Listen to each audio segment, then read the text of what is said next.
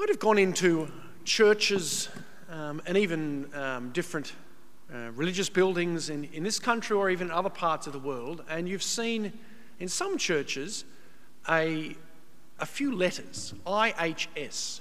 You've probably seen it in different places.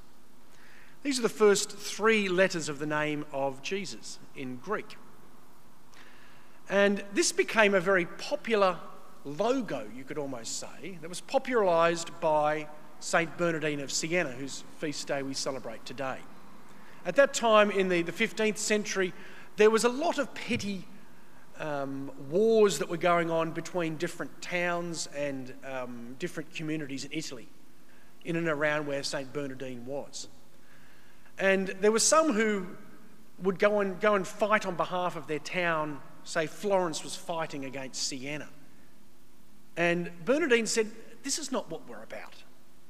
About these petty wars, these petty fights that happen between families. And he, he, he's sort of always, almost quite contemporary in this context that he said, okay, we need a logo that identifies who we are.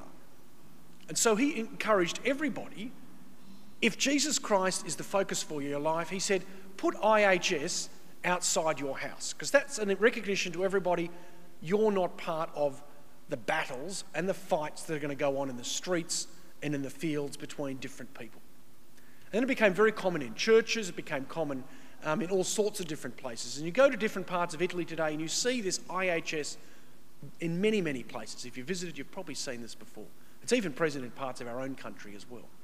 But a lot of people don't realise it became popular through the preaching and the direction of St. Bernardine, the saint we celebrate today.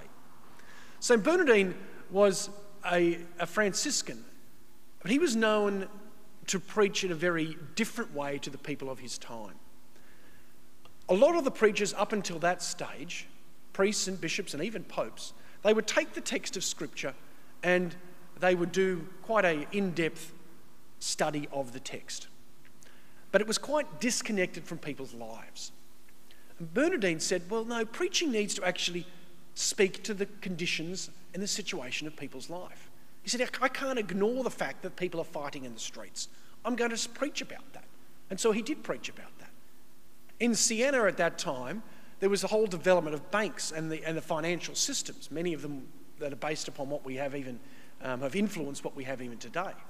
And so he started to write about finance. He was the first theologian and the first saint to actually have written a theology of economics about how it's not right for people to have, for banks to rip people off. It's okay to charge interest, but they shouldn't charge such an interest that it's going to destroy a person.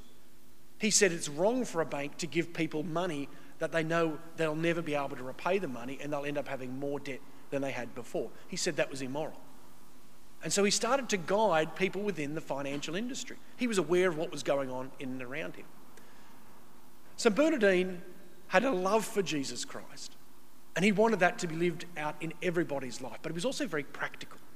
And I think that's the challenge for preaching for me as well, that I don't just want to be able to be speaking about things of the past. What does this actually speak to us today? For some people, the, the logo or the thing that they hold up for, them for, for their life these days might be their sports team. Maybe it's the Sharks.